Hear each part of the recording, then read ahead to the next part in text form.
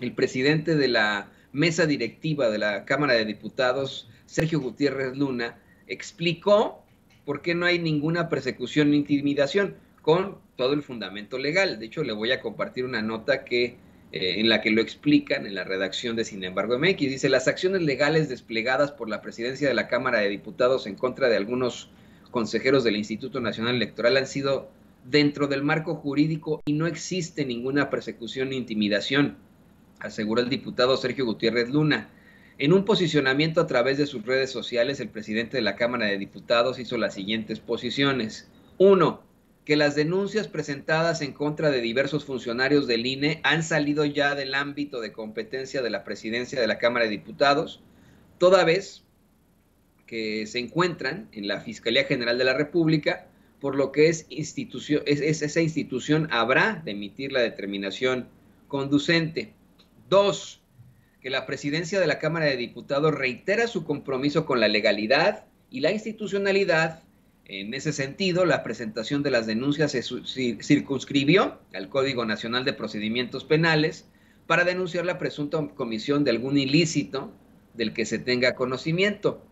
Número tres, advirtió que se continuarán con los procesos jurídicos ante la Suprema Corte de Justicia para defender la vigencia y eficacia de la Ley Federal de Revocación de Mandato y del presupuesto de egresos de la Federación en relación al comunicado del INE, el diputado Gutiérrez Luna señaló que no existe ninguna persecución ni intimidación en contra de los consejeros. El cumplimiento de una obligación legal no puede tomarse como tal.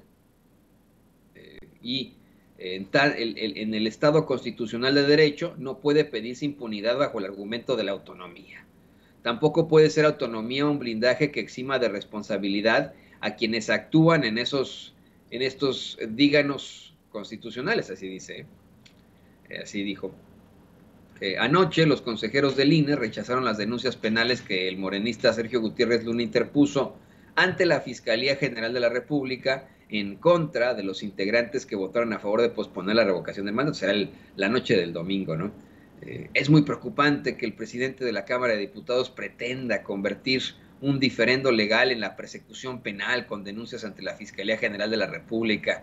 Ya se lo leíamos ayer, cómo, lo plantean estos señores. Pero bueno, ahí, ahí eh, con palitos y con bolitas, como si estuvieran en el kinder, así les explica Sergio Gutiérrez Luna, presidente de la mesa directiva de la Cámara de Diputados, a estos, eh, pues, señores y señoras del INE, consejeros y consejeras del INE, que pues sí hay fundamento legal para acusarlos penalmente, ya lo hemos, eh, lo, ha planteado, ¿no? Esa es la realidad.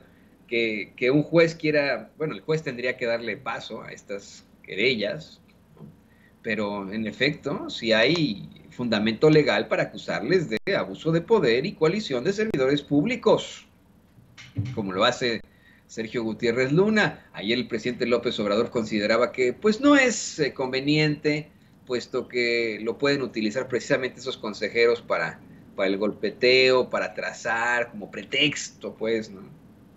Entonces, pues hay que estar muy, muy pendientes de lo que pueda pasar.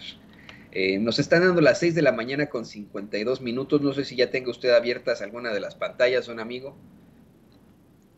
Todavía no abren. Híjole. Se acerca la hora y ni en una ni en otra. No hay nada todavía en Cepropie. Se les durmió el gallo a mis amigos de Cepropie. Ahí, se les traen las sábanas pegadas, mis compañeros, en los ojitos.